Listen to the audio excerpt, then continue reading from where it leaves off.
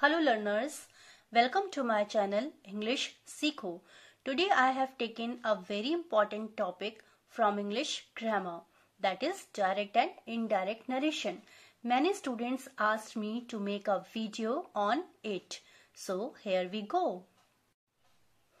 Before we start, we should have a clear understanding of the topic itself like what is direct narration and what is indirect narration.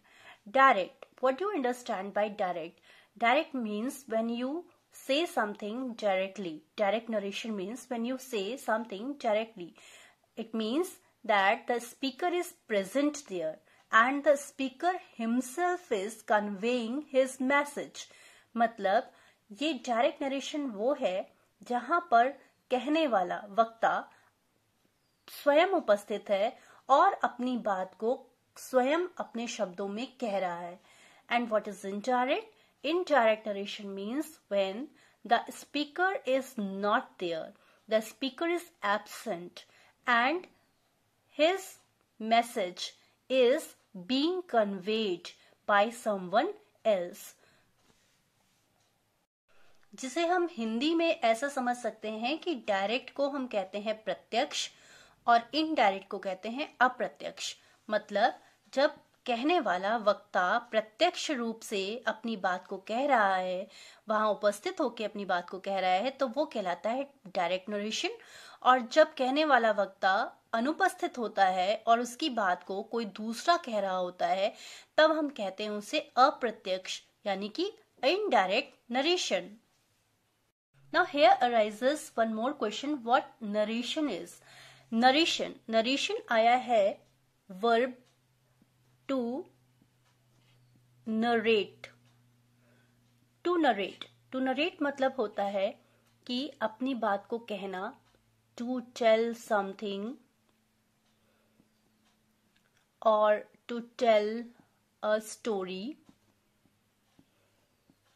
or to tell a talk किसी भी बात को बताना, कहना, वर्णन करना to describe something describe describe means वर्णन।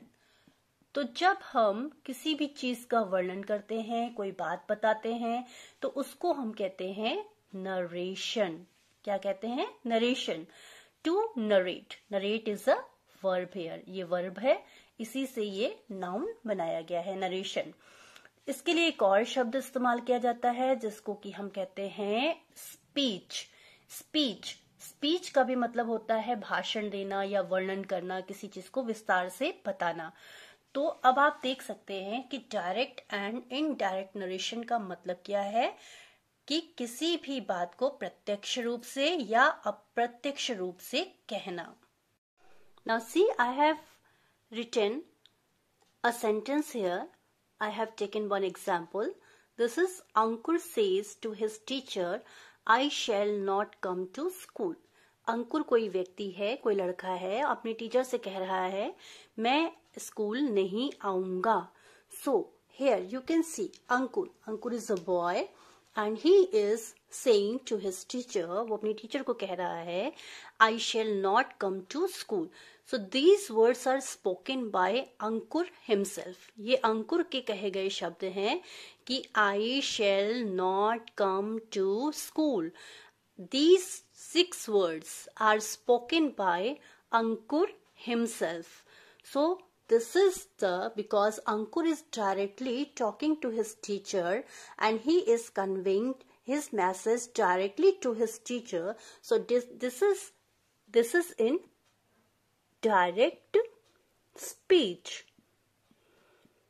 This is the example of direct speech. Hmm. तो देखिए, इस एग्ज़ाम्पल में अंकुर अपनी बात टीचर को स्वयं कह रहा था यानी कि Ankur was conveying his own message to his own teacher and he use I for himself Ankur use I for himself Ankur ने आई का इस्तेमाल अपने लिए किया था अब मान लीजिए कि यहाँ पर कोई एक थर्ड पर्सन भी है, वो है मी मी मीन्स मैं आपकी टीचर तो मी यहाँ पर अंकुर की बात मुझे कहनी है और किससे कहनी है? अपने टीचर से कहनी है.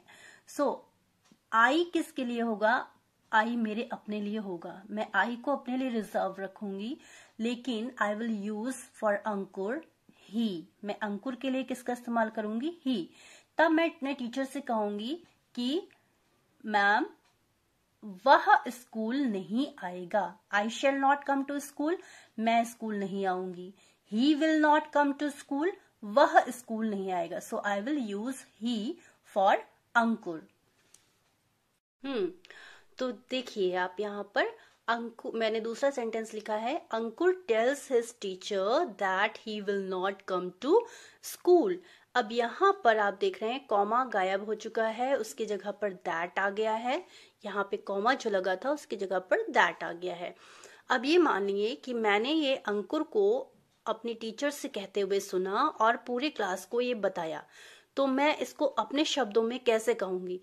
Ankur tells his teacher that he will not come to school Ankur अपनी टीचर से कहता है कि वह स्कूल नहीं आएगा so when Ankur says Ankur himself says to his teacher he uses I but when I am conveying his message to someone else then for ankur i use he so this is the difference between direct speech and indirect speech.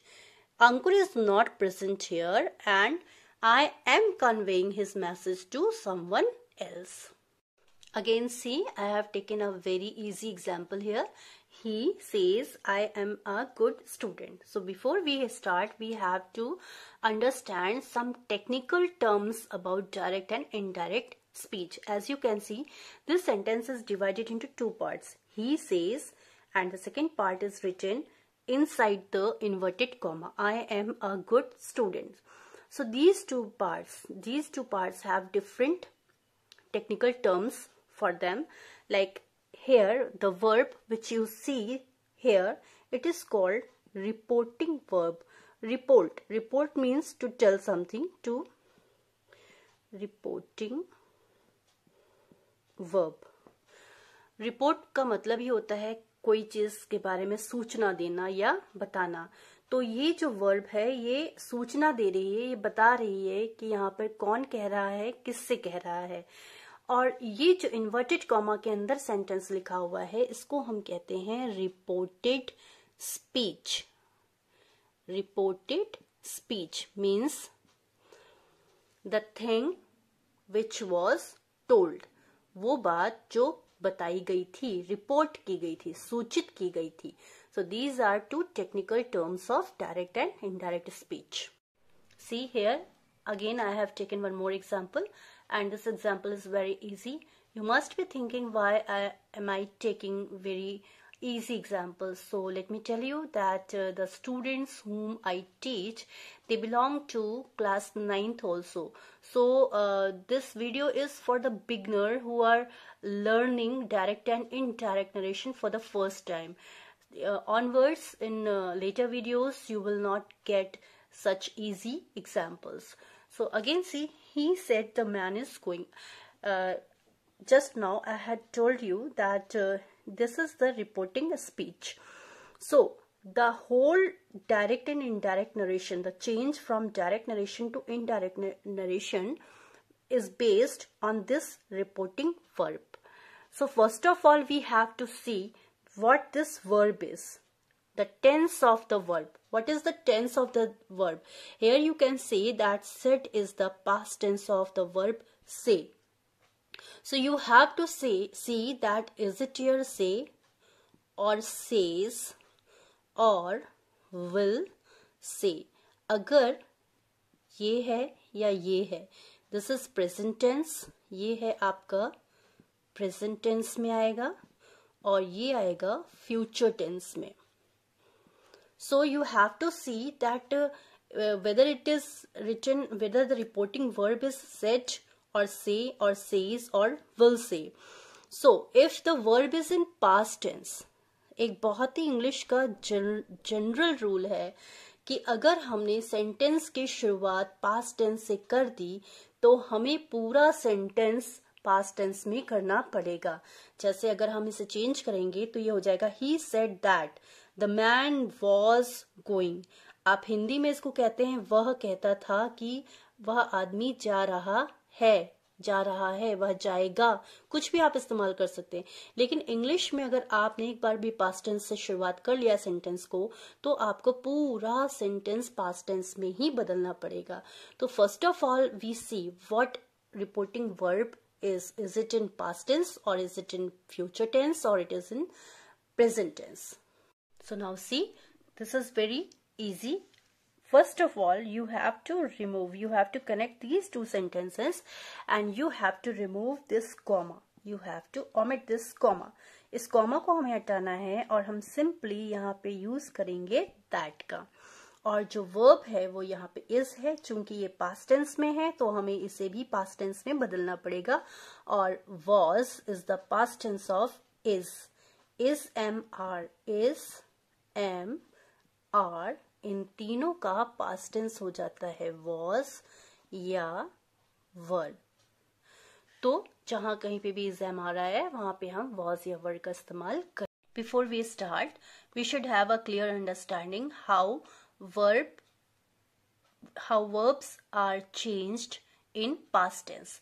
So is am are, is am are changed into was, are is changed into were, will or shall it they are changed into would can is changed into could may is changed into might and do and does are changed into did.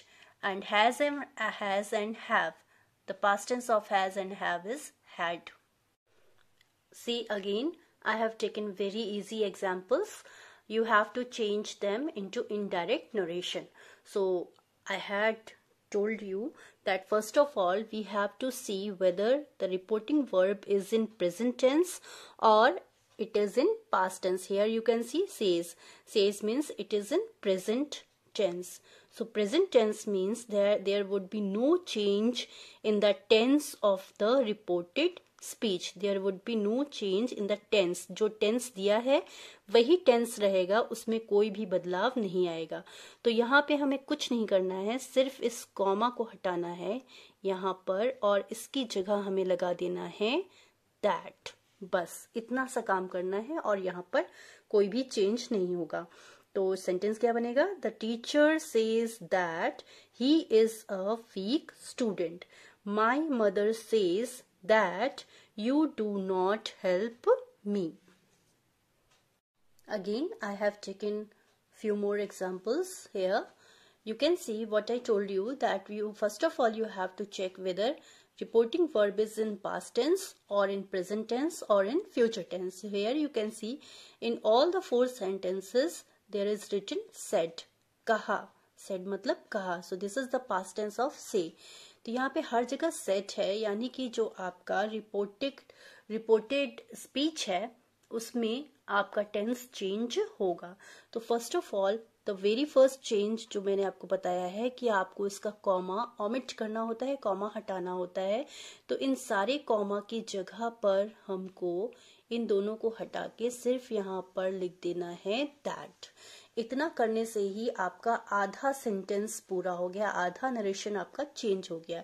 So everywhere he said that she said that Rama said that I said that now come to the latter part here reported speech so, here you can see he is, the verb is is.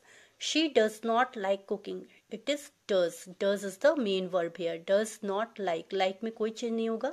क्यों नहीं होगा? ये मैं बाद में बताऊँगी। He writes. Writes is the verb here and they can not यहाँ पर वर्ब हेल्पिंग वर्ब आपकी कैन है नॉट यहाँ पर अलग है. यहाँ पर भी लिव में कोई चेंज नहीं होगा. अब इसको हम चेंज कैसे करेंगे? He is an honest man so you have learn that is इसका पास्ट टेंस हो जाता है वॉस यानी कि हमको इसकी जगह पर क्या लिख देना है? वॉज़ तो सेंटेंस क्या बनेगा? He said that he was an honest man बस हो गया। दो जगह आप चेंज करेंगे, इतने के ही आपको काफ़ी नंबर मिल जाते हैं। Second sentence she said she does not like cooking अभी मैंने आपको ये बताया था कि मैं आपको ये बताऊँगी कि डज के साथ जब यहाँ पे लाइक आ रहा है तो लाइक चेंज क्यों नहीं होगा? वो इसलिए नहीं होता है क्योंकि जितने भी मॉडल ऑक्सिलरीज होते हैं, वो सब हमेशा वर्ब की फ़र्स्ट फॉर्म ही लेते हैं। मतलब कि अगर हम चाहे डू का इस्तेमाल करें, चाहे हम डस का इस्तेमाल करें, चाहे हम डिड का इस्तेमाल करें, या इस तरीके से जितने भी होते कैन का इस्तेमाल करें, चाहे कुड का इस्तेमाल करें, या इस तरीके के जितने भी वर्ब होंगे, इन सब के साथ हमको वर्ब की फ़र्स्ट फॉर्म ही आती है। इसके साथ कभी भी हमें वर्ब की सेकेंड फॉर्म का इस्तेमाल नहीं करेंगे। यानी कि अगर आपने डू को डू हेल्प है, या डू नॉट हेल्प है डू नॉट हेल्प है तो जब हम इसका पास्टेंस बनाते हैं तो ये डिड नॉट हेल्प हो जाएगा। डिड नॉट हेल्प यानी कि डिड नॉट हेल्प्ड नहीं होगा। एक ही सेंटेंस में दो बार पास्ट टेंस नहीं आ सकता कि हम डिड का भी इस्तेमाल करें और हेल्प्ड का भी इस्तेमाल करें। तो ये रॉन्ग हो जाएगा, यानी कि हमको लगाना पड़ेगा did not help again see I am going to take second sentence second example she said that she does does is change into does को हम चेंज करेंगे यहाँ पे कि पास्ट टेंस डज का क्या हो गया? डिड हो गया. तो she did not like cooking Rama said Rama said that he writes writes is present indefinite tense और इसका प्रेजेंट का, जब हम प्रेजेंट इंडेफिनिट टेंस को पास्ट इंडेफिनिट में बदलते हैं तो इसका यहाँ पर हो जाता है रोड तो यहाँ पे राइट्स की जगह पे क्या आएगा? Wrote he wrote a letter I said that they can not can not एक शब्द होता है, एक साथ लिखा जाता है, लेकिन जब हम कैन का पास्टेंस करते हैं तो ये हो जाता है कुड और नॉट इससे अलग हो जाता है तो they could not live alone so this was the first video on direct and indirect narration I hope you find it useful and helpful if you have any problem please leave your comment in the comment box below so that i can make a better video for you. Thank you.